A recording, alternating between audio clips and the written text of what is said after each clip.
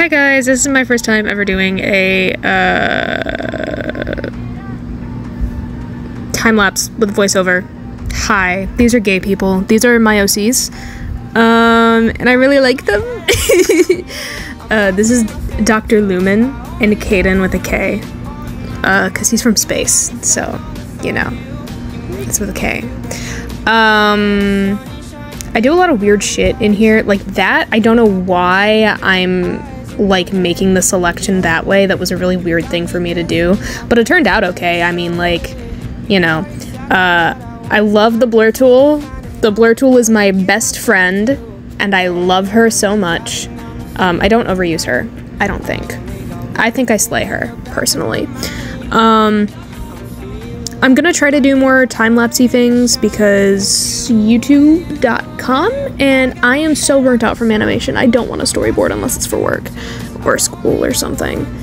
Um, I think his jacket is too orange in this. I don't know why I made it that orange, but you know, it's fine. I didn't have references pulled up. I know these bitches by heart. We're good. Um, there's a star exploding behind them, and they're gonna kiss. And that's all that needs to be said. Honestly, that's all that needs to be said. Um, I honestly just kind of messed around with the shading, and I'm really proud of it. I just kind of went ham, and I think it looks cool. It'll start looking way cooler in a second when I start drawing all these little triangles whenever that- Yeah, there we go, Triangle Town.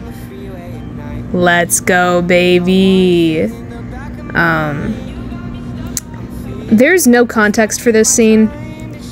There probably will be eventually, but the way that I write stories is I come up with scenes that I think would look really cool or really moving, and then I come up with context behind it, and then that's how I get to a plot. I don't do other things that are normal, although I think that's pretty normal, I guess. This is... there's so much blur happening!